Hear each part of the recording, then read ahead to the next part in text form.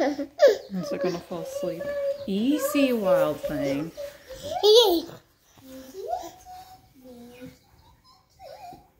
I made mine sleep too. I made like you go there. Yeah. Yeah. Yeah. What do you think about those? Yeah. Is Cody allowed to hold one? Hey you all, welcome back to Promote the Goat Homestead. As you saw, we just got some new chicks today. I think it's been three years since we've had a batch of chicks. But these guys are all going to replace the chickens and the ducks that we have now.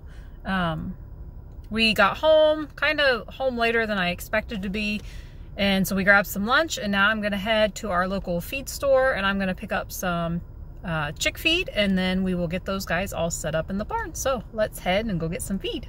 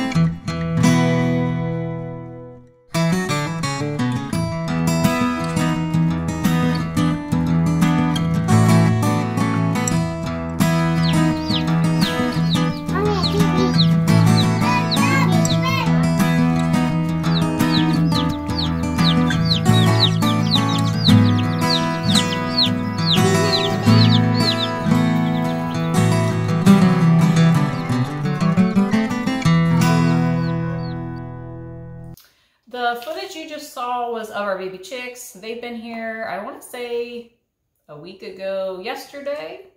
Yeah, I think it was a week ago yesterday that we got them. They're doing great. We unfortunately lost two um, the following day. Uh, Kings were willing to replace those, and so um, we took those back, and then the two new ones are doing great. So everybody's doing great. Um, I'll try to insert some footage and see, um, you guys can see what they look like. They're really starting to get some feathers on their wings. Um, they're doing really well.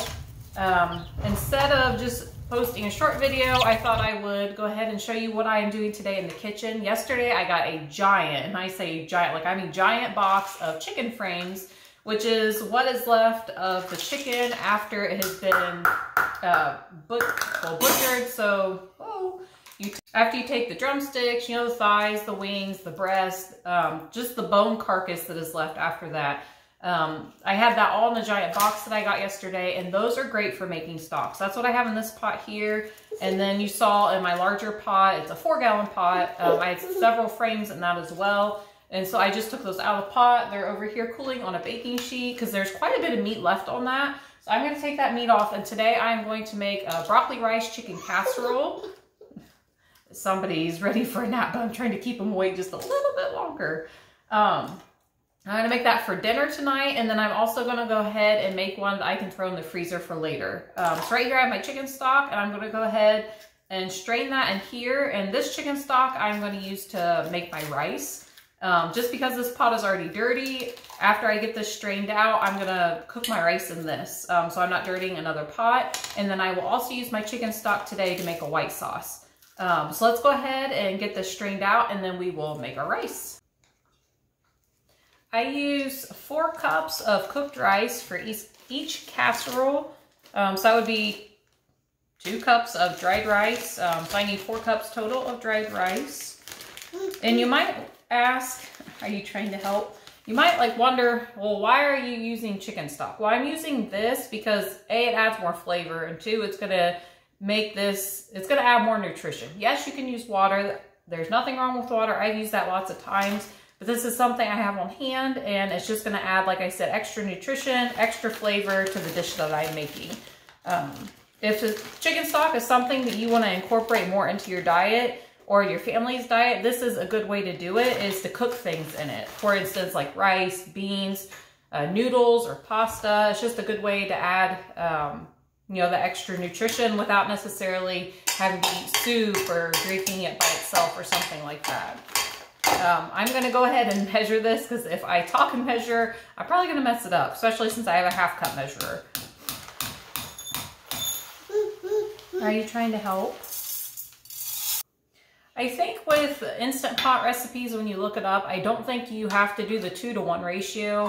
However, that's what I've always stuck to. It always works. Um, you cook rice. If you've done it in Instant Pot, you cook it how you like to cook it. That's how I like to cook it.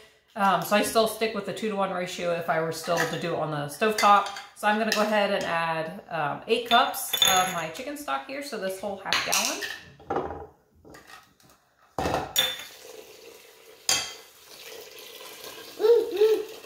Uh-oh. Mommy's dribbling here.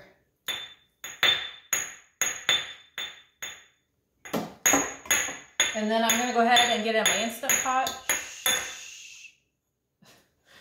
I'm to get I'm to get my Instant Pot and then uh, get this cooked up. And then while that's going, I'm to start shredding chicken.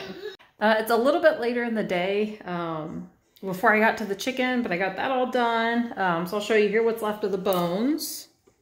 And then here's all the chicken that I got. Um, I'm hoping that is enough. I've still got a few of the carcasses over there in my pot, but I'm hoping this is enough between the two. We'll see. I'll definitely get the one for dinner done um, before I get the freezer one done. So next, I'm going to go ahead and get some broccoli on the stove. And then once that is cooked through, then I'm going to um, use that same pot, same pot um, to make my white sauce. Um, and I'll show you that here in a little bit. Yeah, hi. I went ahead and I got um, a pan, a 9 by 13 out. That's what's um, what we're going to use for dinner.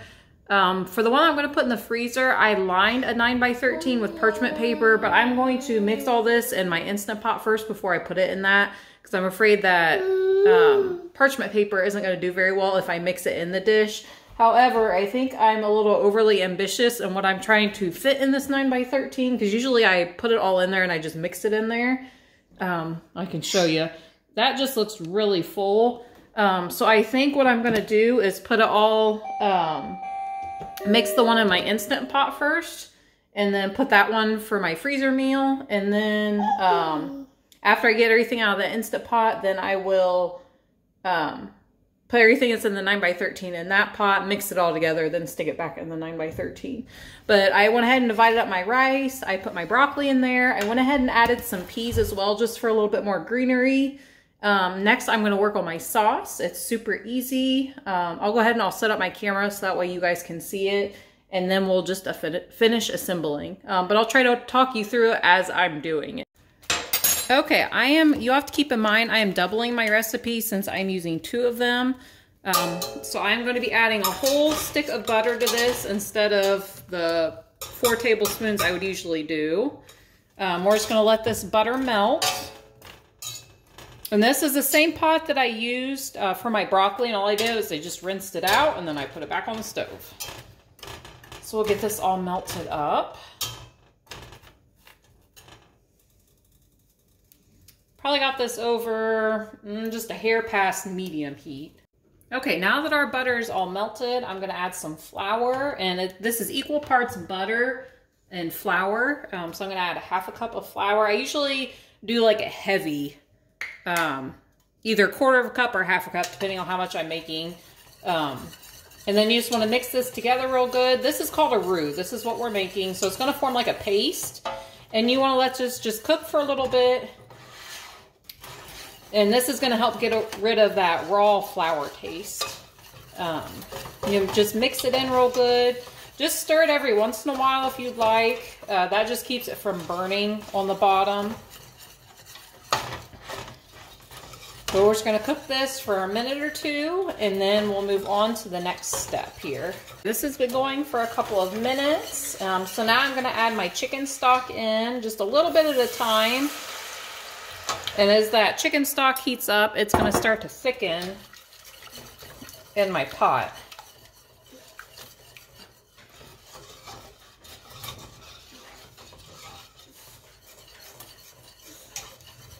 Usually I don't measure this, however you can.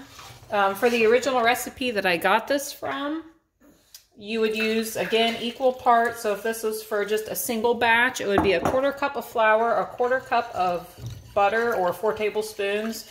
And then it would be three cups of your liquid, whether that be uh, milk or chicken stock or beef stock, um, whatever it is that you have on hand. But sometimes I like to add a little bit less, usually around like two to two and a half cups. And that just kind of gives me a thicker sauce. If I want it more liquidy, you know, you can always add more, but I tend to do between two and two and a half cups, or just by eyeballing it, um, which is probably what I'm going to end up doing right now, just kind of eyeballing it. And this sauce, this would be like a substitute for the can of cream of mushroom soup that you get from the store. This I also use if I'm making like chicken alfredo. This is a very versatile sauce. Um, you can use just milk. If that's all that you have, that is fine. I just tend to like to use the chicken stock just because it gives a little bit more depth of flavor.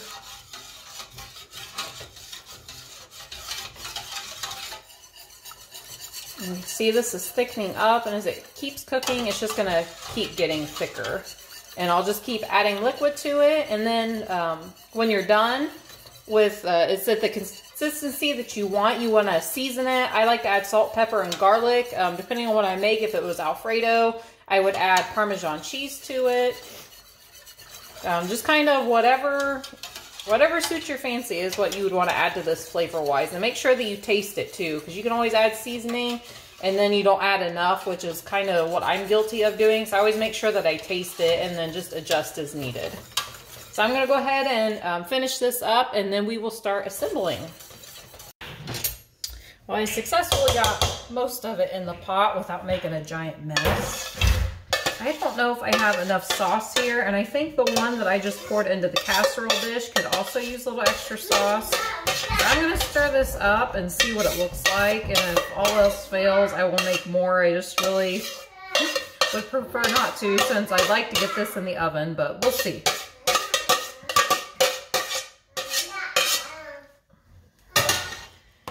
Just stir it up and see how it looks.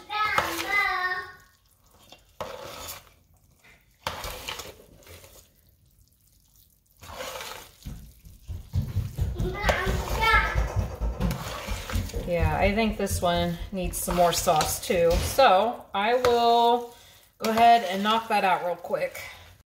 Okay, I went ahead and made more sauce. Um, got all this in the pan. This dish has been buttered. Now I'm to add some cheese to it.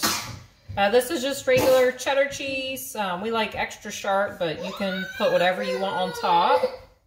I had to laugh at myself when I was editing my last video. Here, buddy and didn't think about it until I was editing it and I used one of the kids' plates. You want some cheese? But I like to use this plate when I grate cheese because it's got this lip on it so it holds it really well but I thought that was kind of funny. Oh, is that good cheese? Got my little helper here. Yeah. Are you a little mousey? Hmm. So I'm gonna get all this cheese um, on here and then next we'll add the crackers. But let me get this cheese on here first. I've also made this dish with zucchini as well in place of the broccoli. And that was really good. But you really could use whatever you want. I think mushrooms added to this would be good as well. Now I'm just going to take crackers and crumble this up across the top. Sure. Yay! And I'm going to do this across the whole thing here. Okay, I went ahead and I got uh, the rest of the cheese on there. I got the crackers crumbled up on there. Um, I'm going to go ahead and pop this in the oven at 350. It will bake for uh, 30, 40 minutes maybe, just till everything's heated through and it's bubbly. Uh, for the other one that I did that I'm going to throw in the freezer, I'm going to stick it in there overnight. I'm just going to add the cheese to it. I'll wait to add the cracker topping on the day that I get this out for dinner. Um, but I'm gonna stick it in the freezer. Tomorrow when I get it out, I will pop it out of my pan and I'll wrap it up in a saran wrap or plastic wrap and then cover that in foil and label it and back into the freezer it'll go. That way it frees up my 9 by 13 that it frozen and then I don't have to use an aluminum foil pan because in my opinion, those are kind of pricey. So uh, this is my way of avoiding doing that. And then because it froze in a 9 by 13 it'll fit perfectly back into one. At least I hope so. Fingers crossed since I've never tried this. Um, they'll fit back into one on the day that I want to bake that for dinner. Uh, that is it for today. I thank you for joining me in the kitchen and um, I got to show you a recipe that used a lot of chicken stock and just a great way, like I said, to incorporate into your diet. Um, especially in the summertime, if you're not in the mood for soup, which most people aren't, this is a good way to do that without having to eat soup. Um, that is it for today, I guess. And again, I thank you. Uh, if you like what you saw today and want to see other cooking videos or homesteading or gardening, feel free to subscribe. If you like this video, give it a thumbs up and I will catch you guys on the next one. Bye.